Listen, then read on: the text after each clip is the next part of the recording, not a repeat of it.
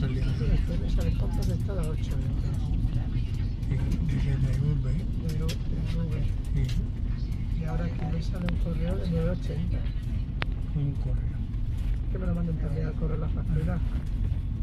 Me lo manden ah, a 9.